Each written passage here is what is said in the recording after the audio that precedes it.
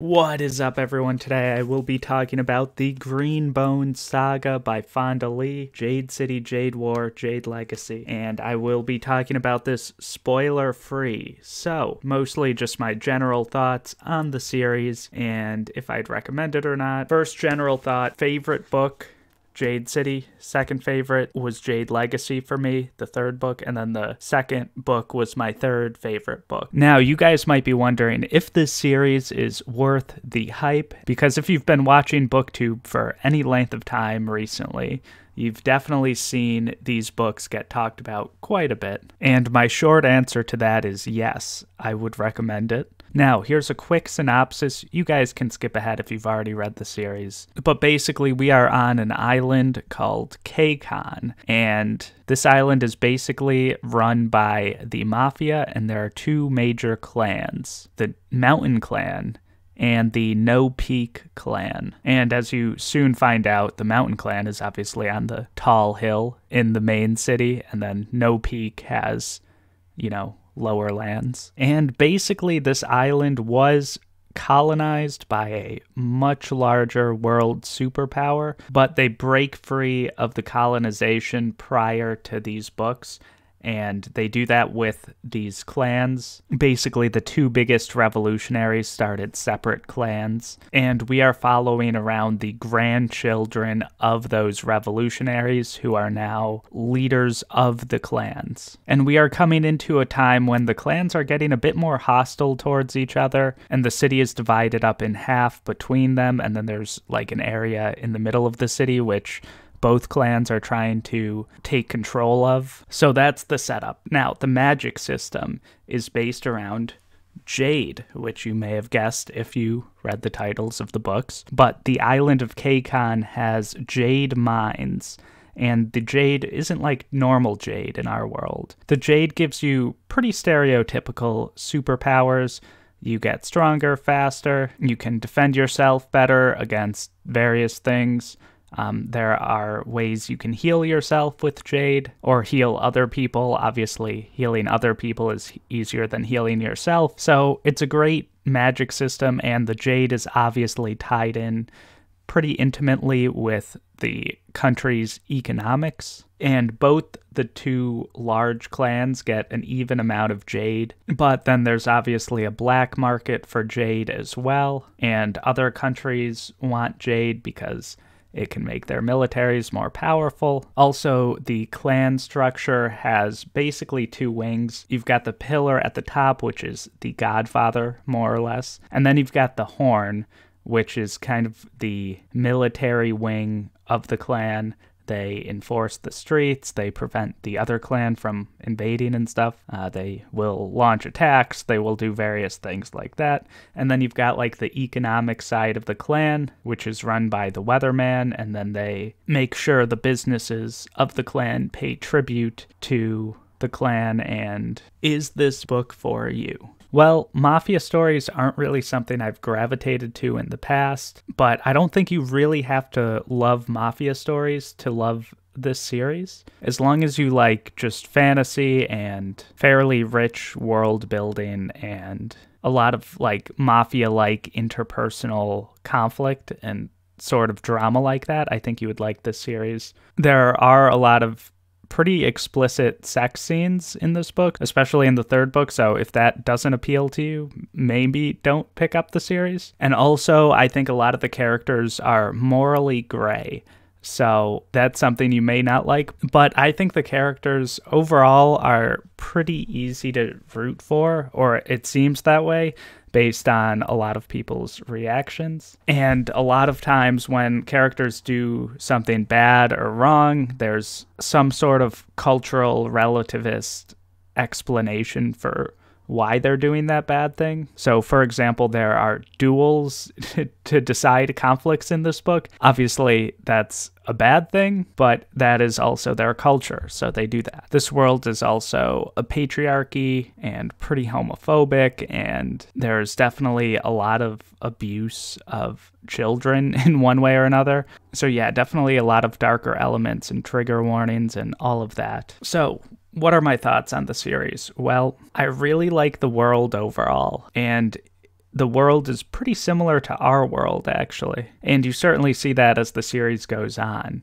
Uh, the first book, it's more of just like a general mafia sort of thing in a world that is similar to ours. But later on, when you see Espenia and Yugatania, and it's like, oh, this is like a very similar situation to the Cold War between the United States and the Soviet Union. And Kekon is kind of like Japan or maybe Korea or someone who's more on the side of Espenia or the United States, but they're also still pretty protectionist and aren't going to let their natural resources just get absolutely plundered by the United States. So I do like the world overall, and I like the city of Janloon, and you know, like the businesses that we get to see, like the Twice Lucky, which is a restaurant, and it's the restaurant that the No Peak clan's family goes to all the time. And, you know, like the school and everything presented feels like it's something that's in this world. And all these different places are described really well. So I like the places and how they always feel consistent, but I also like the people and how they always feel consistent. As an example, Hilo, in a very early scene, is visiting his adopted brother Anden at his school, and Hilo's like, an adult. So I found it kind of weird when Hilo started like attacking Anden in like the entrance area of the school or like a courtyard. I, I'm not exactly sure where they were, but he just like started dueling with him and didn't like ask, hey, would you like to have a duel. It was no, it was just like, oh, I'm, I'm attacking you now.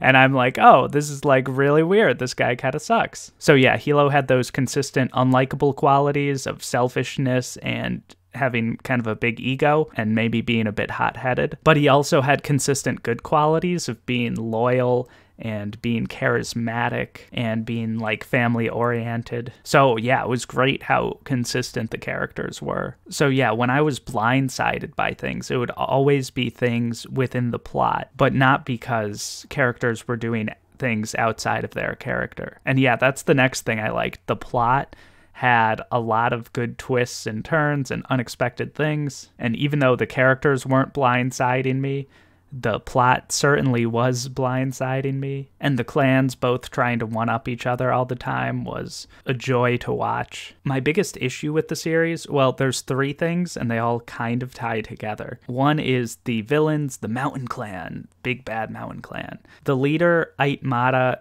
is definitely a badass, and I like how smart she is and how you know, evil and conniving she is. But her character motivations were a bit frustrating to me in that basically her only motivation was just being power hungry, or that's what it seemed like to me. Um, we didn't get Ayt Mada's points of view throughout the book, so we're kind of just left to assume that. Um, there's not too many other things that would make me think that her motives are anything other than being power hungry. So, yeah, first complaint is the very flat villain of the Mountain Clan who's just a boring autocrat, which I guess is kind of a staple of the mafia genre. So, we could just chalk it up to that.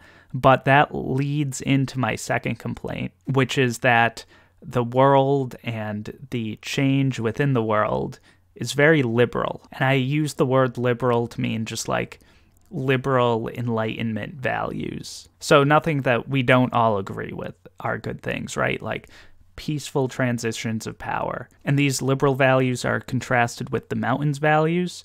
And obviously, as a society, we would prefer liberals to autocrats. At least most of us would. Obviously, one of the candidates in my country didn't support results of an election recently. So obviously, most people support liberal values, I guess we could say. But Ayt Mada's, you know, one nation, one clan. She wanted to be the leader of that clan. She didn't want anything like term limits or anything like that. She just wanted to be in charge. And then the No Peak clan was like, actually, I don't think we should have you be in charge of everything.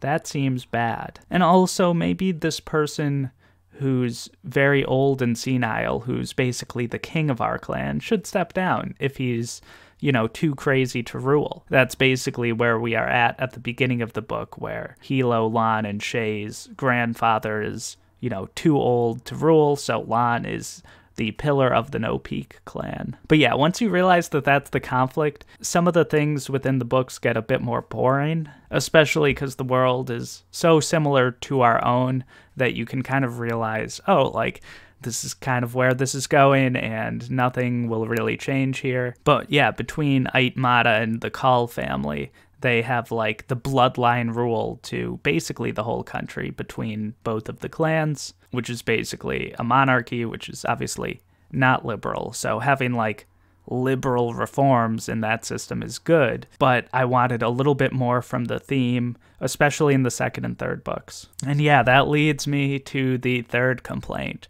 well, wouldn't there be radicals who are like against the monarchy and stuff? Like, that would be cool to add that to the book. I, I won't get into too much detail, but basically, any character who wants more radical change sucks. They're like the worst characters ever. And they're oh my gosh, it's it's the worst. And yeah, again, this is more of a complaint with the second and third book where this sort of theme of very like moderate to center right liberal reforms are opposed with the autocracy that is the Mountain Clan. But yeah, those were my overall thoughts. I would recommend this series, especially if you kind of like those more liberal stories within your fantasy books. And of course, some of the characters I liked more than others, and I think that's to be expected in any book but especially books with characters who are so morally gray. And whenever I didn't like a character, like Hilo, for example, I felt like it was more because of the things the character did rather than how the character was written. But the things the character did were always in character. So I respect that part of it, even if I didn't like what was going on on my pages at particular points in time. But yeah, that's everything. Like, comment, subscribe, and I will see you guys next time.